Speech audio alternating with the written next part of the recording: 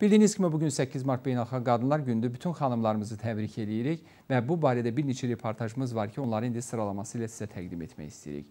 Şəhid anası, şəhid xanımı, şəhid bacısı və qızı. Bugün həm də onların günüdür. Varlıqları ilə bizə fədakarlığın nə olduğunu, mübarizliyi, vətənpərvərliyi onları aşılayırlar. 8 Mart həm də onların evliliklərinin 9-cu il dönümüdür. Bahar İbrahimova ilə şəhid jurnalist Məhrəm İbrahimovun. Bahar İbrahimova şəhid yoldaşının dediyi kimi güclü qadındır. Çünki jurnalist yoldaşı olmaq böyük səbir tələb etdiyi kimi, şəhid jurnalistin həyat yoldaşı olmaq da xüsusi bir məsuliyyətdir. Bu ağır və məsuliyyətli yükü çiyinlərində isə ancaq güclü qadınlar daşıya bilər.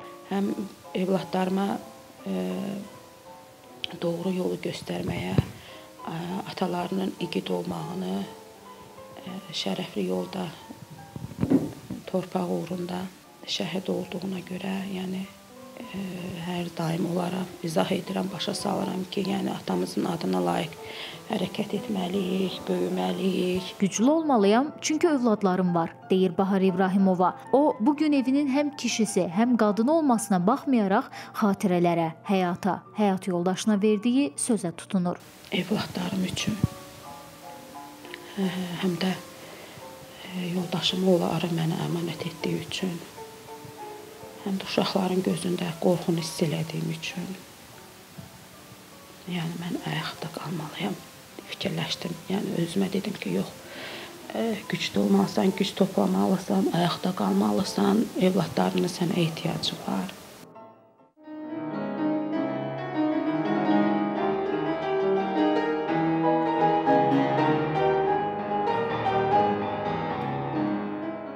Notlara toxunanda sanki özləmi, qəlbində gizlətdiyi, dilə gətirə bilmədiyi hissləri baş qaldırır. Könül Hüseynova Azərbaycanın şahin qəhrəmanı Rəşad Atakişiyevin həyat yoldaşıdır.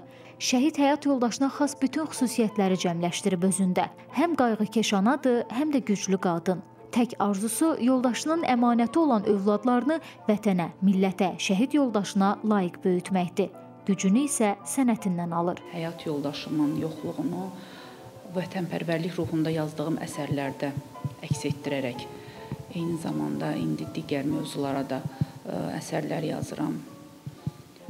Və həmin o duyğularımı ifadə edə bilmədiyim ə, hisslərimi sanki o musiqilərin vasitəsilə dilə gətirərək canlandırmağa çalışıram. Yəni bir növ onlara yeni həyat verdikcə sanki o içimdə ölmüş hissləri yenidən həyata qaytarmış oluram. Əvvəllər pedaqoji fəaliyyətlə məşğul olsa da, həyat yoldaşı Rəşad Atakişiyev şəhid olandan sonra duyğularını musiqi ilə ifadə etmək üçün bəstəkarlıq fəaliyyətini ön plana çıxarıb. Bu gün Könül Hüseynovanın şəhid analarının ah naləsini ifadə edən şəhidlərə böyük qələbəmizə həsr etdiyi xeyli əsərləri var. Bu sənətdəki uğurlarım mənə böyük bir inam aşlayır.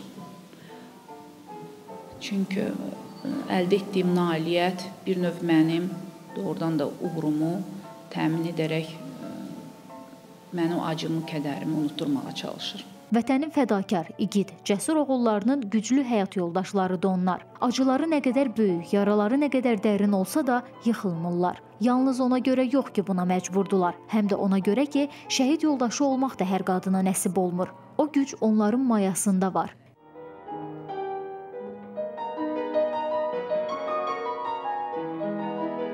Gününüz mübarək, vətənin güclü qadınları.